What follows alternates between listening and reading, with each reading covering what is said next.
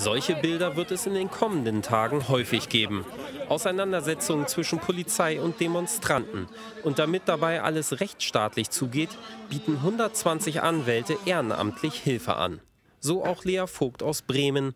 Im Rahmen der anwaltlichen Nothilfe wird sie ab morgen Demonstranten vor Übergriffen der Staatsmacht schützen. Die Erfahrung zeigt, dass gerade bei so großen Polizeieinsätzen es doch immer wieder in Situationen äh, kommt, wo die Grundrechte, das Versammlungsgrundrecht äh, in Mitleidenschaft gezogen wird. Also die Bilder von riesigen Kesseln, wo Demonstranten Stunden, äh, viele, viele Stunden oft schon äh, zusammengefercht wurden und wo sich dann hinterher herausstellt, in vielen Fällen, dass diese Maßnahmen rechtswidrig waren.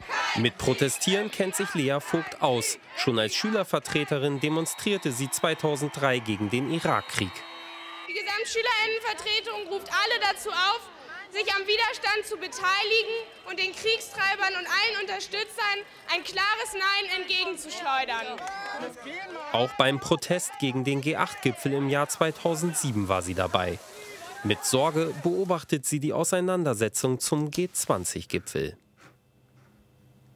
wenn man sich anschaut, was in den letzten Tagen schon so aus Hamburg vermeldet wurde, man befürchten muss, dass im Moment die Linie des Senats eher ist, dass alles, was da an Protest zu erwarten und geplant ist, eher als Ärgernis, als ja, mehr oder weniger notwendiges Übel gesehen wird ähm, und man eben nicht sagt, natürlich gehört zu so einer Veranstaltung, wenn man die sich eben in die Stadt holt, auch dazu, dass Leute dagegen auf die Straße gehen.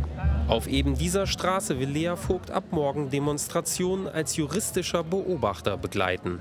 Außerdem wird sie sich in der Gefangenen-Sammelstelle um festgenommene Demonstranten kümmern. Das ist auch ein ganz normaler Job, aber klar, ich habe den nicht ohne Grund gewählt. Ich will Leuten, die mit der Staatsmacht konfrontiert sind und da meistens am kürzeren Hebel sitzen, wenn nicht immer, ähm, die will ich unterstützen und denen zu ihrem Recht verhelfen.